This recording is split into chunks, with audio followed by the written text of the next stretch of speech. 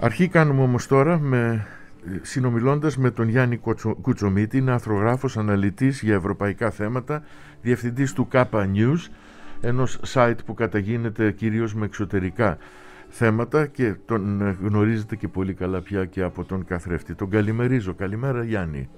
Καλημέρα σας. Καλημέρα. Πώς πάμε, ξενύχτιδες. Ε, Είμαστε... ξενύχτησα λίγο, ναι. Λοιπόν, εμ, ας κάνουμε ένα πρώτο σχόλιο. Καταρχάς με μία επισήμανση δική μου. Εμ, κύριε Κουτσομίτη, αγαπητέ μου Γιάννη ανακάλυψα μία επιστολή μάλλον ένα άρθρο που έγραψε ο Πούτιν. Ε, φαντάζομαι ότι μπορεί να το έχεις πέσει στην αντίληψή σου. Είναι 12 Ιουλίου του 2021 Δηλαδή είναι ένα χρόνο πριν. Είναι περίπου 16 ε, σελίδων.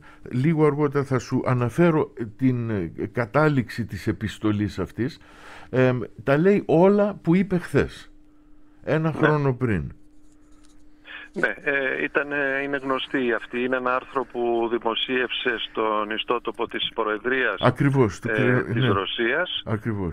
και τότε είχε κάνει ισχυρή εντύπωση ε, αυτό το άρθρο διότι μέσα ουσιαστικά αναφέρει όλο το αναθεωρητικό και θα έλεγα και ε, ολιγαρχικό σύστημα το οποίο θέλει να επιβάλλει στην ευρύτερη περιοχή και την ανατροπή του status quo στην ε, Ευρώπη ευρύτερα. Ναι και κάνει και συνειρμούς με, σε σχέση, λέει, ρίξτε μια ματιά στο πώς ζουν η Αυστρία και η Γερμανία, οι Ηνωμένες Πολιτείες και ο Καναδάς, η μία δίπλα στην άλλη, κοντά σε εθνοτική σύνθεση, πολιτισμό, μοιράζονται μάλιστα μια γλώσσα, παραμένουν κυρίαρχα κράτη με δικά τους συμφέροντα, δική τους εξωτερική πολιτική, αλλά αυτό δεν τους εμποδίζει από την ενσωμάτωση και ολοκλήρωση των συμμαχικών τους σχέσεων. Και ε, ε, αμέσως μετά λέει το ίδιο κάνουν και εκατομμύρια που γεννήθηκαν στην Ουκρανία και ζουν τώρα στη Ρωσία. Τους βλέπουμε σαν δικούς μας στενούς ανθρώπους. Η Ουκρανία χωρίς τη Ρωσία δεν υφίσταται λέει ως κράτος. Ναι, είναι αυτό το αφήγημα το οποίο ακούσαμε χθες με πολύ σκληρό ε, το οποίο ουσιαστικά καταλύει όλη, κάθε έννοια ε, του, του χάρτη των Ηνωμένων Εθνών, ε, της δημοκρατίας, της αυτοδιάθεσης των λαών, όλα αυτά τα οποία γνωρίζουμε ε, τους αγώνες της δημοκρατίας τα τελευταία 200 χρόνια. Ε, τα κατάργησε με, ουσιαστικά με μια ομιλία 57 λεπτών ο κύριος Πούτιν και θα έλεγα ουσιαστικά άγγιξε και τα όρια του ρατσισμού διότι ε, καταλόγησε στους Ουκρανούς ότι είναι ε, διεφθαρμένοι, ότι είναι νεοναζί, ε, ναι. και ότι δεν έχουν δικαίωμα ουσιαστικά να έχουν δικό τους κράτος. Είναι, είναι πράγματα που τα ακούμε από ανελεύθερα καθεστώτα. Εμένα μου θύμισε δυστυχώς σε μεγάλο βαθμό ομιλίες ε, των Αγιατολάδων στο Ιράν, οι οποίοι δεν αναγνωρίζουν στο Ισραήλ το δικαίωμα της ύπαρξης ε, και ακόμη και ακόμη δυστυχώς ομιλίες και του Αδόλφου Χίτλερ τη δεκαετία του 30 για το πώς κράτη εχθρικά δεν έχουν δικαίωμα ύπαρξης. Και βέβαια από χθες υπάρχουν και συγκρίσεις ε, με την περίφημη προσάρτηση της Σουδητίας ε, το 1938 από την ναζιστική Γερμανία.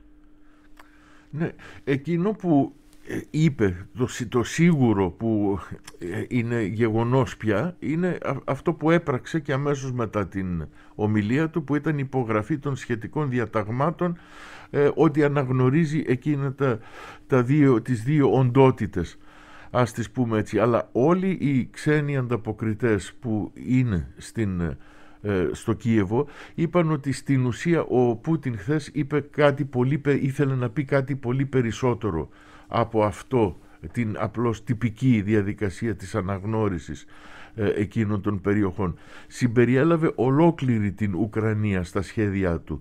Αυτό τι σημαίνει ότι ε, ενδέχεται να δούμε κάτι άλλο στην Ουκρανία; Ε, ουσιαστικά αυτό που ε, διακήρυξε χθες ο κύριος Πούτιν είναι ότι η Ουκρανία αποτελεί αυτό που έλεγε και ο Χίτλερ το ζωτικό χώρο. Ε, δεν θεωρεί ότι πρέπει η Ουκρανία ε, σε καμία περίπτωση να έχει δικαίωμα αυτοδιάθεσης ε, αφού το τεκμηρίωσε με τους, με τους δικούς του ισχυρισμούς ιστορικά για το πόσο ο Λένιν ε, διαρρύθμισε την Σοβιετική Ένωση έφτασε στο σημείο να λέει ότι ε, η Ουκρανία εάν έχει ε, δική της αυτοδιάθεση αποτελεί κίνδυνο για τη Ρωσία γιατί μπορεί να βάλει πυρηνικά, ε, μπορεί να αποτελεί κίνδυνο για, την, για τα σύνορά μας και οτιδήποτε. Ουσιαστικά θα πρέπει να περιμένουμε τα επόμενα χρόνια οποιαδήποτε κίνηση αποσταθεροποίησης ε, του κράτους της Ουκρανίας διότι ε, αποφασίστηκε από το καθεστώς, από τον κύριο Πούτιν ότι αυτό το κράτος ε, αποτελεί κίνδυνο, η ύπαρξή του αποτελεί κίνδυνο για την ασφάλεια της Ρωσίας ευρύτερα. Αυτές οι δύο αυτόνομες περιοχές ε, καταρχάς θα αναγνωριστούν από τα Ηνωμένα Έθνη; Όχι σε καμία περίπτωση. Ήδη ο Γενικός Γραμματέας Γκουτιέρες και η βοηθός του χθες στη συνεδρίαση, τα ξημερώματα συνεδρίαση του ε, Συμβουλίου Ασφαλείας ε, καταδίκασαν απερίφραστα την κίνηση της Ρωσίας ε, και διότι αντιβαίνει σε κάθε έννοια διεθνούς δικαίου της Χάρτας των Ηνωμένων Εθνών και όλες οι αποφάσεις των τελευταίων 70 ετών στα Ηνωμένα Έθνη είναι αντίθετες με αυτή την κίνηση. Μονομερή δημιουργία τετελεσμένων εις βάρος των ε, διεθνών κανόνων. Αν μείνουμε μόνο σε αυτό το τετελεσμένο, δηλαδή στην αναγνώριση ότι η Ρωσία αναγνωρίζει εκείνα τα δύο κομμάτια και μείνουμε μόνο σε αυτά, τι συμβαίνει εκεί; Ε, ε επιβάλλονται μέτρα κατά της Ρωσίας και τελειώνουμε, δηλαδή στο Λουχάνς και στο Ντόνετσκ ναι. ή ε, περιμένουμε ότι θα υπάρξει και το επόμενο βήμα εναντίον όλου του κορμού της Ουκρανίας. Αυτό είναι το μεγάλο ερώτημα πλέον. Η, ε, θα έλεγα ότι οι κυβερνήσεις οι δυτικές και ο πρόεδρος της Ουκρανίας που απίθυνε ένα διάγγελμα αργά τη νύχτα προς τον Ουκρανικό λαό επέδειξαν μια αυτοσυγκράτηση για το αν πρέπει τώρα να, ε, να υπάρξουν οι μεγάλες κυρώσεις ε, κατά της Ρωσίας.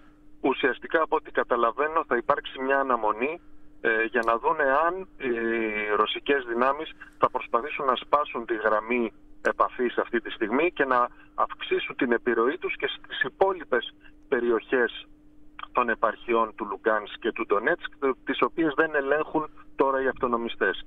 Και αυτός είναι ο μεγάλος κίνδυνος τώρα και ερχόμαστε και στα δικά μας, ε, σε σχέση με τους ε, ελληνόφωνους πληθυσμούς ε, της Ουκρανίας και κυρίως τη Μαριούπολη, η οποία βρίσκεται πάρα πολύ κοντά στη γραμμή επαφής. Και αν, ε, ο, αν ο Πούτιν, η επίδειξη δύναμης που είδαμε χθες το βράδυ από τον Πούτιν είναι, δεν έχει ε, ε, εφαρμογή αλλά είναι απλώς μία άσκηση δύναμης ούτως ώστε να πάει σε διαπραγμάτευση και να κερδίσει περισσότερα πράγματα δηλαδή στο ε, θέμα ας πούμε του ΝΑΤΟ. Ή, αλλά αυτή όλη η ομιλία του δεν, δεν με έβαλε εμένα προσωπικά σε αυτή την κατεύθυνση. Δεν με έπεισε ότι ε, τα λέει αυτά για να διεκδικήσει απλώς μια διαβεβαίωση ότι η Ουκρανία δεν θα μπει στο ΝΑΤΟ. Ε, Σαφώς. Ε, είναι, είναι μια πράξη μονομερούς θα έλεγα κατάργησης της διαδικασίας της διπλωματικής. Διότι μέχρι 18-20 ώρες πριν ήταν σε συνεννόηση με τον πρόεδρο Μακρόν, με άλλους ηγέτες, για να υπάρξει μια ε, διπλωματική λύση στην κρίση. Και παρόλα αυτά ε, πήρε την απόφαση να προχωρήσει σε μια μονομερή ενέργεια. Νομίζω ότι πλέον ε, έχει χάσει το, το κριτήριο της αξιοπιστίας για να μπορεί κανείς να συζητήσει με εμπιστοσύνη με αυτόν τον άνθρωπο τη, τη μία στιγμή μπορεί να πεις κάτι και την επόμενη στιγμή να πάρει μια απόφαση και να τα ανατρέψει όλα. Αυτό δεν σημαίνει βέβαια ότι δεν θα υπάρξουν διαπραγματεύσεις, πάντα γίνονται.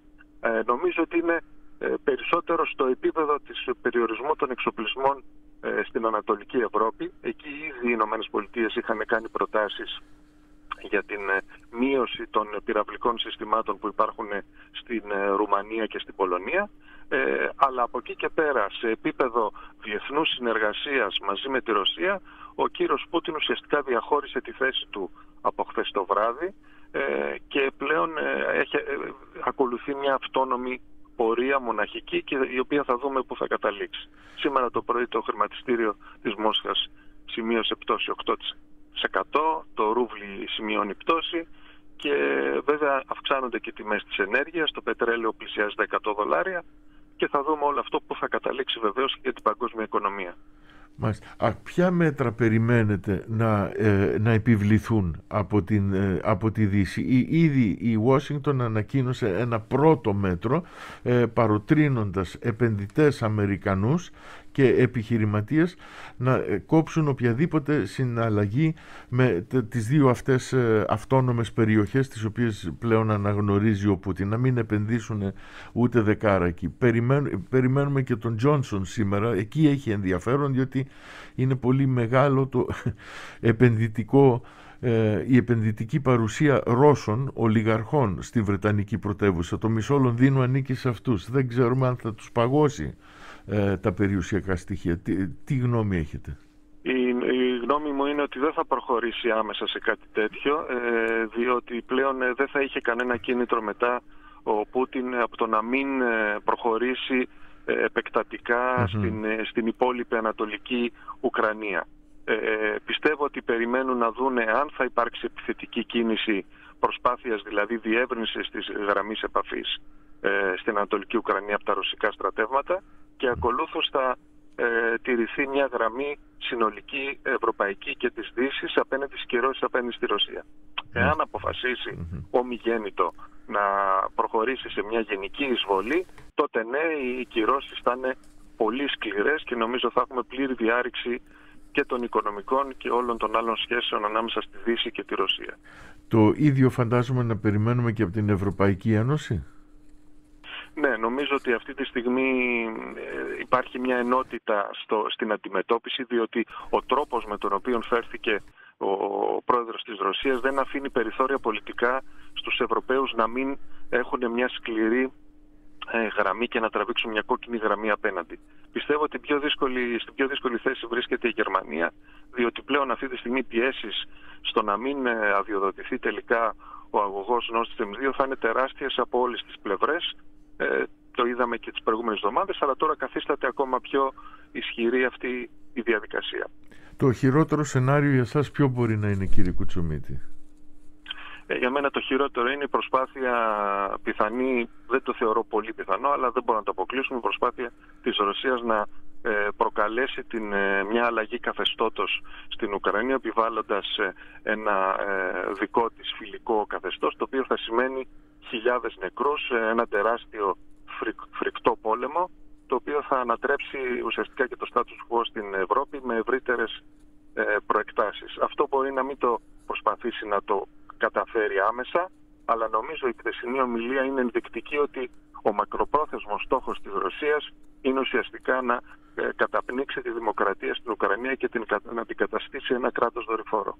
Και με τα υπάρχοντα ως τώρα δεδομένα το καλύτερο ποιο θα ήταν να συμβεί από εδώ και πέρα; Ε, το καλύτερο θα ήταν να παγώσει, να παγιωθεί αυτή η κατάσταση και δεν νομίζω ότι υπάρχει κανείς που ελπίζει ότι θα υποχωρήσει από την αναγνώριση αυτών των περιοχών ο κύριος Πούτιν και να φτάσουμε σε κάποιο σημείο διευθέτησης ε, είτε με η αυτονομία είτε με ουσιαστική ειρήνευση στην περιοχή χωρίς περαιτέρω επιθετικές ενέργειες από τη Ρωσία. Σας ευχαριστώ πάρα πολύ για την συνομιλία Εγώ μας. Ευχαριστώ. πολύ. Γιάννης Κουτσομίτης, αρθρογράφος, αναλυτής για ευρωπαϊκά θέματα, διευθυντής του ιστότοπου ΚΑΠΑ News.